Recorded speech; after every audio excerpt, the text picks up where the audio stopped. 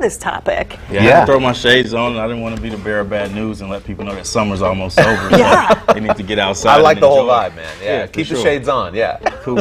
So yeah, top three places with the view to eat and drink downtown Indy. So I think I came up with a pretty cool list. All right. What you got? What's the so What's the first one, one? yeah. So number one, um, I went with Livery. Okay. Um, just Love it. because I love their food. They have you know a Latin influenced menu, and um, they have great cocktails, a big tequila selection. So everything's really great. the empanadas there, so good. Amazing. I Yeah. get the chorizo every time, with steak, corn. know. I tried to get in there the other night. My wife and I were downtown, and it was just packed. So it's a good problem to have. We, Oh, yeah. we Yeah, were, they're we were always turned busy. away. Yeah, that's awesome. So yeah, their rooftop view there, um, you know, looking towards you know Bottle Works and all that new Yeah. construction over there. It's really nice, right on Mass Ave or right off of Mass Ave. It's a great That's area. a good for one. sure. Yeah. All right, number two. What have you got first, Mike? We have Cannonball Lounge. Okay. Oh, So, yeah, that's newly a fun open at the Yeah. sixth floor of Hotel Indy. Yeah. Um, they have, you know, great cocktails and then small bites. So everything there is really good, but they have, you know, just an awesome view right on Washington Street So downtown. pretty. um, and when the weather's nice, it's nice, but they're open year round.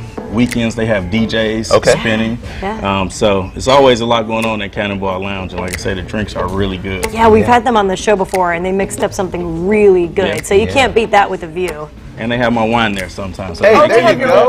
Wine there? Yeah, Well, tell the people about your wine. Come Oh, on, yeah, Mike. yeah, Don't be yeah. shy. Reflection, uh, you know, my wine with Daniel's Vineyard. It'll be at a new place here really soon, so Okay. I'll be excited to talk about that next All month. right. Okay, well, I know I'm ordering your wine then next time I go to Yeah, Cannonball Lounge. there you go. Yeah. Sounds All like right, so plan. Livery, Cannonball Lounge. What's the next one? And then we're gonna go with uh, Skyline Club. Okay. It's at the Yeah. 36th floor of the One America building downtown. Yes. Um, they have, you know, a great menu, but they are primarily membership based. Yeah. But they also have, you know, some nights where if people aren't in there networking and conversing and meeting people, then it's open to the public. So like even all next week during Devour downtown, Yeah. through Open Table, you can make a reservation and you can enjoy the view. Um, it's an amazing place. I was able to eat dinner there a few times, and it's, it's really cool. Nice. Oh, I've been to some events there, and Yeah. you cannot beat that view of Yeah. the circle downtown. Yes. Exactly. It's so cool. It's like floor to ceiling windows, I think, Yeah, too. yeah. Yeah. Lauren and I have sung up there, and we were just sure. blown away by the view. It's awesome. International inspired menu and it changes seasonally based on you know what's available they Okay. try to support you know local farmers and different people here in the city and across the state so it's also you know a good cause with a great view That's yeah, great, man. Absolutely. You can't beat that.